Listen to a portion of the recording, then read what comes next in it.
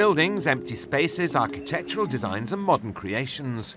They all mean something poetic in Venice for the 16th International Architecture Exhibition with the theme Free Space. Architects are asked to reflect on space and its implications, and most of their installations and projects were shaped by current events. We have to be aware of the political issues in order to make buildings which uh, protect, insofar as we can, the, the status of the human being in the world. That's a very general statement, but um, architecture does have a political agenda which is maybe not specific to the, the political parties or, or whatever, but it's a, it's a social agenda. It's a deep social agenda which has a deep political implication. Turkey, Argentina, and Germany are only some of the 63 national participants at the Architecture Biennale who ask visitors to come into the pavilions to see their interpretations. While some countries are confronting their own history in order to reflect on borders in the world, others explore free space with their own landscapes. Places rather than buildings, or nothing but empty rooms. The subtitle of the exhibit is Should we simply build buildings or seek to make places? So it's a question we're asking, and in this exhibit, we wish to make portraits of places that touched us as architects. These are often abandoned places that have been deserted, old factories or offices that have been reactivated. Civil society has a great impact here, as these are bottom up projects. Russia has chosen to focus on free space by transforming its pavilion into an apparent railway station. All the Russian train stations is unique. The atmosphere of train stations. And uh, the trains is changing. And we have a lot of famous travelers who travel through Russia. A lot of events happen in train stations or in trains.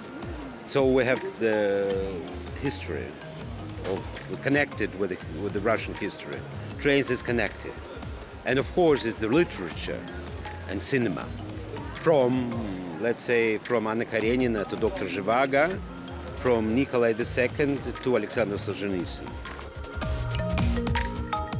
The 16th International Architecture Biennale exhibition welcomes everyone who wants to experience free space until late this year.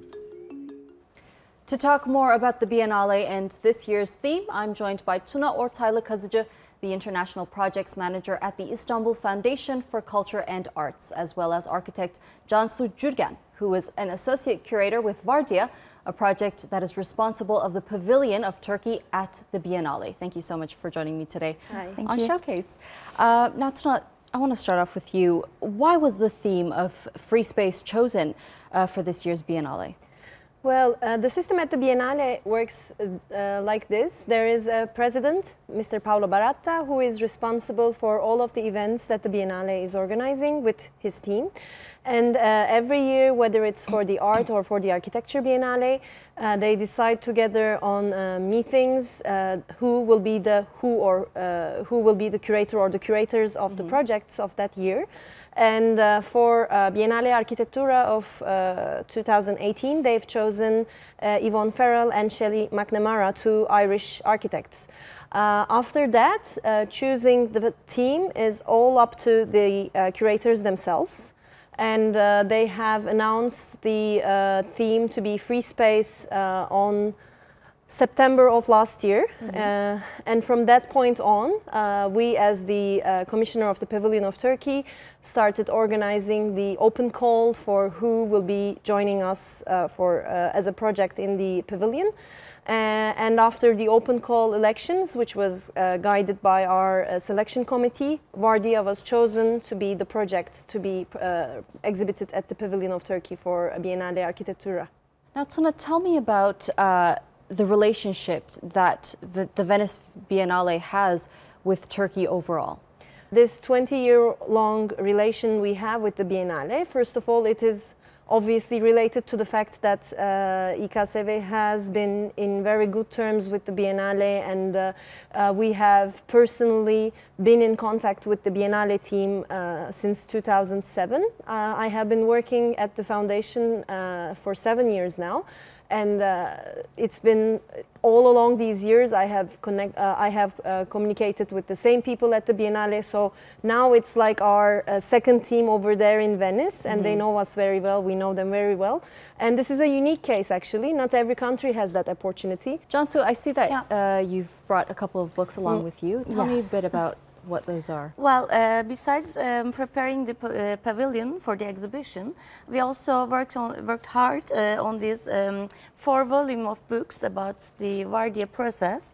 So the first one is about the ideas, how as a team we gather up and started to work on this idea of uh, organizing an open call to students, inviting them uh, to join the pavilion. And this one is basically uh, refers to our um, open call um, campaign. Uh, we ask uh, students uh, three questions basically to uh, invite them to think about uh, the role of the biennial. Mm -hmm. So they replied our um, our um, invitation uh, with their one minute videos and also with their portfolios. So with, among 500 applications we chose 122 students mm -hmm. from countries um, including China, UK, US, Indonesia. Um, international group. International, yes. Uh, we had uh, reached seven, 70 different cities, if I'm not mistaken. So uh, this was the process, the initial process. And then um, we also made some um, interviews with uh, very distinguished professors, whom also are um, selective committee members. And the last book is about the pavilion. We mm -hmm. call this book, this volume, the pavilion, but this is also about the program, the overall mm -hmm. program.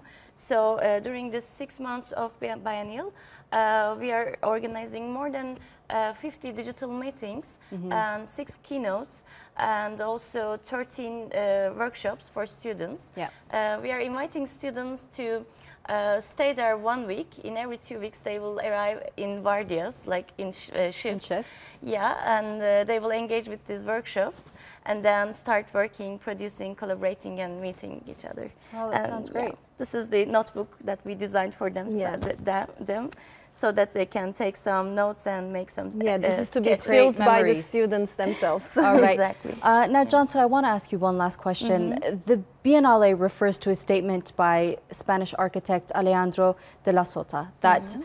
architects should make as much nothing mm -hmm. as mm-hmm. possible. So basically, he's saying be simple. Yeah. Uh, who is an architect today that embodies this very idea?